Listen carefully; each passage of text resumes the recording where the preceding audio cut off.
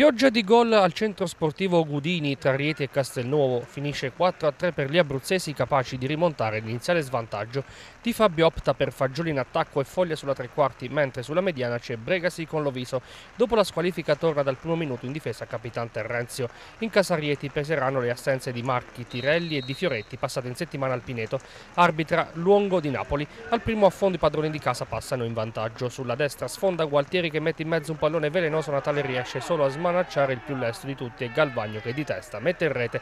Il Castelnuovo non riesce a rendersi pericoloso, allora il Rieti prova subito a scappare, ma questa volta Natale si fa trovare pronto e disinnesca la punizione calciata da Sedac.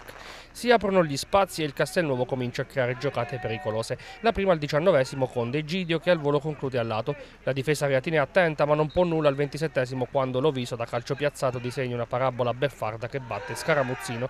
Un minuto i neroverdi compiono il sorpasso. Scaramuzzino sbaglia l'appoggio ad un suo compagno, ne approfitta Fagioli che viene steso in aria. Per il direttore di gara non ci sono dubbi e decreta la massima punizione.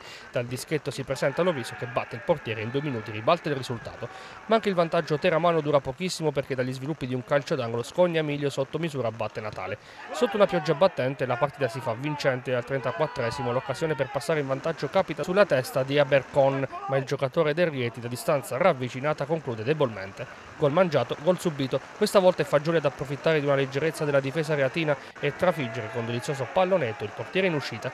Sul finale di primo tempo il Castelnuovo ci prova ancora ma Scaramuzzino è bravo a distendersi e dire di no ad Egidio. La ripresa regala ancora emozioni. La prima all'undicesimo con il Rieti che perviene al pareggio. Errore in fase di disimpegno di Bregasi che si fa soffiare il pallone da Vari con il numero 10 che a tu per tu con Natale non sbaglia.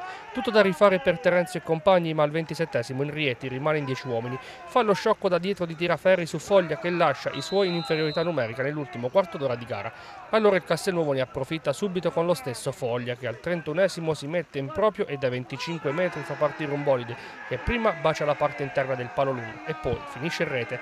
In 10 uomini la reazione del Rieti non arriva, anzi è il Castelnuovo ad avere l'occasione per arrotondare il punteggio ma il rigore concesso per fallo su Fagioli viene fallito da Di Ruocco. Con questa vittoria il Castelnuovo mantiene saldamente la seconda posizione in attesa del derby di domenica prossima contro il Real Giulianova.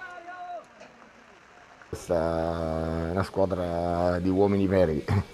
E oggi ci tenevano in particolar modo dopo la prestazione poco brillante di mercoledì di, di, di riprendersi quello che, ci, che, che, abbiamo perso appunto mercoledì. Quindi sono scesi in campo con una cattiveria disumana eh, nonostante no, siamo andati sotto, eh, nonostante l'infortunio di, di, di, Lorenzo, Bregasi, così, però la squadra era convinta di poter vincere questa partita e ha fatto di tutto per vincerla. Eh, quindi devo fare veramente i complimenti a questi ragazzi perché oggi hanno dimostrato di, di, di valere questo campionato e, e, adesso bisogna continuare su questa strada perché eh, domenica abbiamo un'altra partita sulla carta come quella di, di mercoledì scorso e dobbiamo rispondere in maniera diversa. Massimo insieme a Francesco sono diciamo, i papà di questa squadra e, e li, tengono, li, tengono, sempre sulla corda ma sempre con i modi giusti e con le maniere eh, adatte eh, per, per, farli rendere al massimo.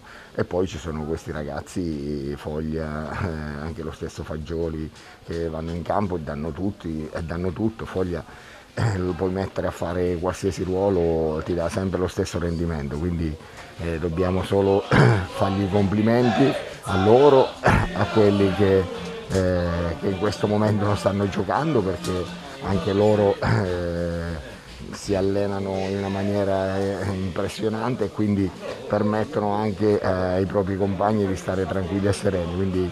Poi abbiamo fatto la grande ingenuità di rimanere in 10, giustamente, poi comunque Oggi è stata una, una, una, gara particolare in cui abbiamo fatto troppi errori e abbiamo pagato dazi.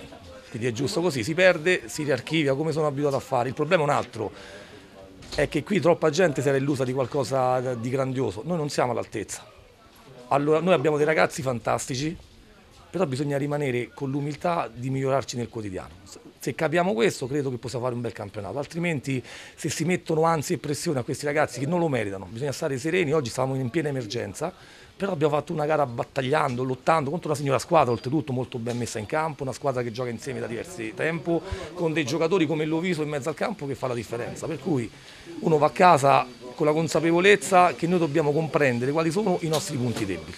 Ok, il momento in cui noi comprendiamo che i nostri punti deboli devono diventare i nostri punti di forza, allora potremo continuare a divertirci come fatto fino ad oggi.